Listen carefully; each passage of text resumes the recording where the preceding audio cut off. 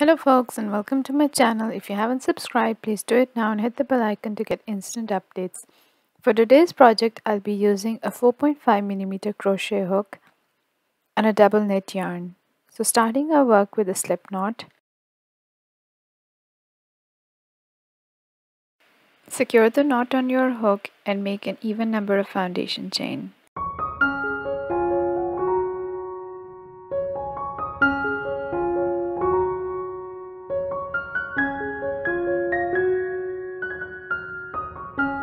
Make a half double crochet in the second chain from the hook, yarn over, insert the hook in the chain, yarn over, pull up a loop. You have three loops on the hook, yarn over, pull through all three.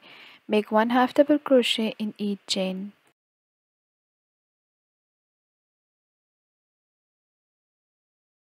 At the end of the row, chain 1 and turn your work. Make a half double crochet in the first stitch.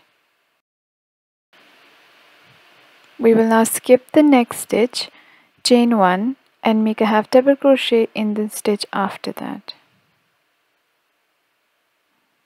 Again chain 1, skip a stitch and make a half double crochet in the next stitch. Repeat this for the entire row.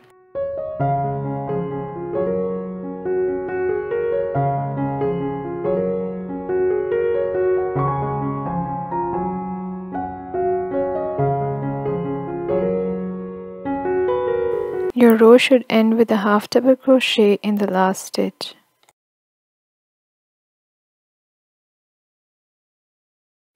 Starting the next row, chain 1 and turn your work.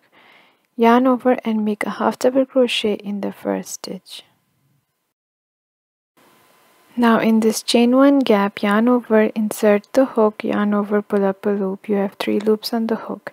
Yarn over and go in the stitch below that gap which is the top of a half double crochet insert the hook yarn over pull up a loop. Pull the loop long enough yarn over again go into the next chain one space yarn over pull up a loop. You have seven loops on your hook yarn over pull through all seven. This is your first feather stitch chain one. Now to make the next feather stitch we're going to go into that same space. So yarn over go into that same space and then go into the space underneath which is the top of the half double crochet and pull up a loop. Yarn over again go into the next chain one space yarn over pull up a loop. You have seven loops on the hook yarn over and pull through all seven chain one. So continue making these feather stitches until you reach the last stitch.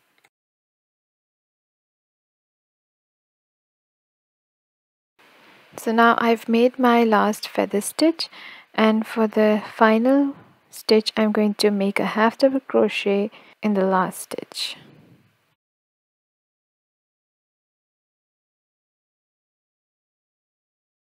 Now starting the next row chain one and turn your work. Make a half double crochet in the first stitch. So yarn over go into that first stitch and make a half double crochet for the first feather stitch, go into that first chain one space, yarn over, pull up a loop, yarn over, go into the chain one space below it, yarn over, pull up a loop, pull the loop long enough. Now go into the next chain one space and then pull through all seven loops. Chain one.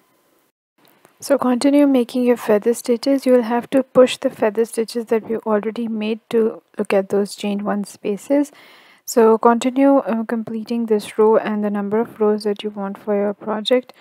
And I'll just do one more row in front of you just to show you how it's done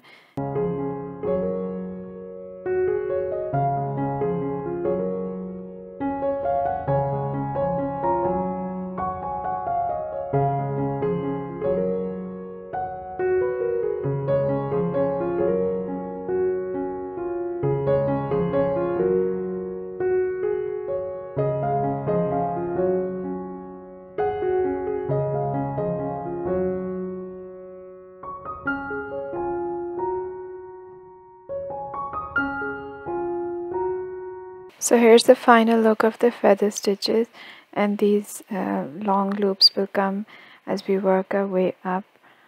It's a nice fabric and it can be used for blankets, jumpers, bags. And the front and the back side of this fabric is identical. There is not much difference. You can use either side. So if you like my video, give it a thumbs up, subscribe to my channel and thanks for watching.